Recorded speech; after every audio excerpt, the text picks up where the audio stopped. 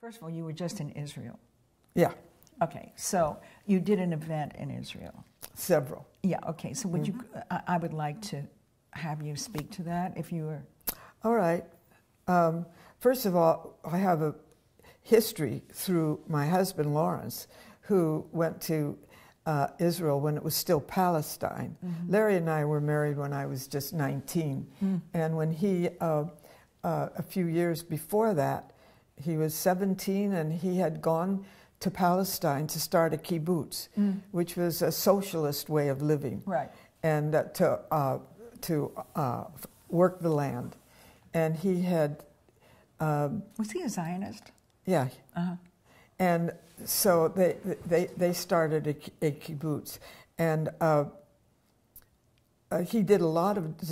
uh, We we we were both going to go and live on the kibbutz, and he had come here to get his degree in uh, horticulture, so he would know more about farm. That's a long, long story, so I'll try to cut it short. But when he died, uh, it was in October, and I wanted. He always wanted to go back to see the promenade he had designed, to see how it was being used, and he wanted to visit the kibbutz. We used to send our children there every summer, and he wanted to uh, visit the kibbutz for the last time, but he was too frail and he couldn't go. And I said, I'll go for you. Mm. So uh, that's what brought me there. Mm. And it also determined some of the things that I did. Mm. But it was a, a you know, I come from a generation. I'm first. I'm first generation Jewish, so I come from a generation where I bring a long history with me. And when I uh, when I came to Israel, I just felt, oh, I'm with my people, and I'm with my land, and I'm with all the people who are with me in Israel and on the land. It did not, in my mind, exclude anybody. It did not exclude the Muslims. It did not exclude the Arabs. It did not exclude the Druze. It did not exclude the Christians. It did not exclude the uh, Orthodox uh, um, Christians. It was not exclusive. I said, I've returned to my people with all of us. And it was a very strong feeling that was at a gut level. And I, something I didn't, and it, you know, I didn't say, oh, I'm going to Israel to be with my people. It just happened when I got there. And I was met at the airport by a whole group of friends. And so that's what brought me there was to honor Larry's memory. And um, uh, it was a powerful, powerful experience. The, the film called Breath Made Visible was uh, opening. Uh, I got a Fulbright, which enabled me to work in academic centers. Uh, I was in contact with people in the peace movement. So everything kind of converged. That this is the time to go. I may never go again. And my family were enraged that I went. Why? No 90 year old should be going on a trip like that in a country that is so dangerous, you know. Well, it's a hard trip. It's a hard trip, and um, uh, I, I didn't consider it dangerous, but it sounds like it from the media that you get here. Yeah. But I was determined. I just felt I have to do this. And uh, so that's how I got there. And then when I got there, I was so amazed at how different the country was from what I thought it was going to be like from the media Yeah. here. And, and I noticed, at least my, no, what I noticed was that the political situation is really quite, to my taste, quite horrible. Yeah. It's very conservative, very right winged. Yeah. There's the ultra, um, the ultra orthodox Jews. There are the Russian immigrants that Mm-hmm. are very, very uh, conservative. Uh, but then, uh, more than anything, were all the wonderful uh, peace movements going on. Yes. So I had a chance to participate and to lead many peace movements, including um, my planetary dance, which is very important to me because uh, it's, uh, uh, it allows everybody to participate, whether you have any experience of all ages. And to be able to do the peace dance at a peace conference with people from representing 150 different organizations, mm. with uh, Arab men participating. Mm. The women, of course, the Arab women were not couldn't come in the room because they're not allowed to dance with the men, but the the men were were eh, eh, just uh, so powerful. The drummer was the best drummer in Israel, and eh, they had a whole circle of drums because when people got tired of running, they'd come in and drum. It seemed like everybody was a drummer. Oh, that's so nice. And uh, and the stories were, were, just amazing. In the middle of the, the dance, which is very simple, because I'd like to I'd like to show you because this is what I showed them. I said, this is a very simple dance. It's just based on, mm. on um, three, three circles. And if, if there are just a few, if there are just a few people, we can make directions. Mm. But if there are more than 50 people, we'll make a circle. So we made a circle because there were about 100 people. And I said, each person needs to dedicate this run. You're not doing it for yourself, you're doing it for others. So each person needs to dedicate what are you running for? Mm. You know, there has to be a purpose beyond your own enjoyment. Right. Uh, and, and so uh, the first circle is, is a, uh, moves in this direction, and you announce to everybody why you're running. And I gave a little uh, preparation, uh, kind of an instant lesson and I used the um, uh, the the Vitruvian man, mm. and I had them feel the, the, the you know the lift of the Vitruvian sure man like this, and at the same time the the steadiness in the legs and the earth. Oh, beautiful! So they very quickly got into their bodies. Beautiful. And then they did the, that position as they called out their dedication, mm. and I said, "Now look, we all want peace." So that's a given. I don't want to hear that. I don't want to hear peace. I don't want to have, I don't want to hear love. Shalom. yeah, shalom. We all know that. I want to hear something personal, you in your life.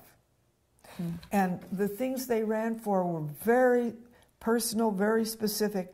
I run for my grandchildren mm. and all the grandchildren in the world. That's mm. what I run for. Mm. And afterwards, uh, she wrote to me and she said, You know, that kind of shifted my life. It put it more in balance. I've been spending more time with my grandchildren, and I'm feeling so much better.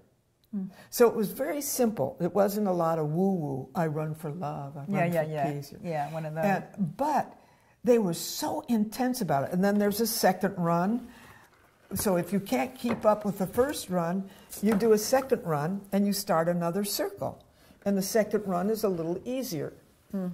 And then if you feel tired and you can't keep up with that, then I showed them the score, then you just walk.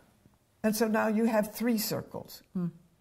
And if you don't want to walk anymore, you can just stand. You can play a drum, you can sing, you just rest. And if you want to go back in, you can go back in. Well, do you, uh, do you know that within 10 minutes, they had taken that simple pattern. Hmm they were just so into it, but they began to make it their own. They was this in Jerusalem where you did? This was in Sula. Uh-huh. Uh, uh, no, no, I'm sorry. It was in a place right uh, next to Bethlehem. Mm. So you were in. You had to uh, go through. You were in Palestinian territory. Yeah. I oh my goodness. I had to go through checkpoint. Were the Israelis able to go into the Palestinian? Yeah. They were. Yeah. Really? Yeah, we all went through the checkpoint. Oh, okay. I almost didn't get in because I didn't bring my my um, my passport. Jews have to have their passport all the time. I, you know I, What's the matter? Something was stolen from me, and I said, "Well, I don't want my passport stolen." But it was so odd. Here are these young kids, you know, that could have been my grandchildren, telling me, this old lady, that I I was a, a, a, terrorist, a terrorist, or I could have been a terrorist, and I thought it was very strange. But it took me an hour to get through because the security is so tight yeah. and I can appreciate that. Yeah. But um, but oh my God, what happened in that dance never happened to me. We're doing that dance in about uh, uh, forty different countries. Wow. Which is my greatest. At the same time? no different times is really a, a very satisfying legacy to know that there is a dance that people can do they can all participate in it and it can be so meaningful but um, uh, what happened is that they began to take it over and created little circles and different things going on. And it was wonderful to see them really, now this is mine, I can make it. And then I would see a man, uh, an older man, very frail, and he was uh, sobbing uncontrollably. And I thought, nobody's ever cried in the planetary dance. It's always been so uplifting. I wonder what he's crying about. So after the dance, I asked him, and he said, I'm sorry, I just crying for all the terrible things I did as a soldier. Yes. Oh, that was so, you know, so touching. And then um, uh, there was this other man who was just running and running and running. He would never stop, and he wouldn't have stopped at all if we hadn't just cut the dance off. And uh, I asked him what was propelling him, what was motivating him to run like that. He ran like that for an hour and a half. And he said, um, I was in prison. Was he Arab? I was, yeah, he- I was in prison. He was an Arab uh, for 16 years. And I had a very small cell. But they let me out 10 minutes or more a day, and I'd go into the yard and I'd start to run. And he said, Today, I could just run as long as I wanted, and I felt the beauty of freedom. And, and he said, I'm just so grateful. Now, there have been a lot of people that I met there, uh, Arabs that had been in prison, who are working for reconciliation. Yes. I was uh, in another peace uh, active, activity, and the uh, this is an Arab Jewish village where they deliberately created a village of Arabs and Jews. And this man, and they, one of the things they do, they have a campfire every month, and people from other neighboring villages come. But they tell stories. This one man was telling the story about his only son who um, was killed by a terrorist and what, how this changed his life Yes. and why he's working for peace. The man next to him was a terrorist. And he had been in jail for 16 years, and he's spending his life devoted to creating peace. Mm-hmm. And he's re- renounced terrorism is not the answer. There was a man sitting behind me with his wife who was all, you, you know, a Muslim in traditional dress, and he had his darling little son, and they there was a lot of music going on. There was Arab music, and people would you know, dance to that, and Israeli music, and then the two groups would play together, and he was bouncing his little child and having such a good time. And I asked him, um, "What what brings you here?" And he said, "I am so tired of people killing each other. That's I right. want my child to grow up in a peaceful world." Yeah, they're exhausted. They're tired of it. Yeah. So that you know, there was just Well, I want to pursue something with you if you if you permit me to, because when I looked at um, uh, when I trace your career and I and I uh, recently saw your film, Breath Made Visible,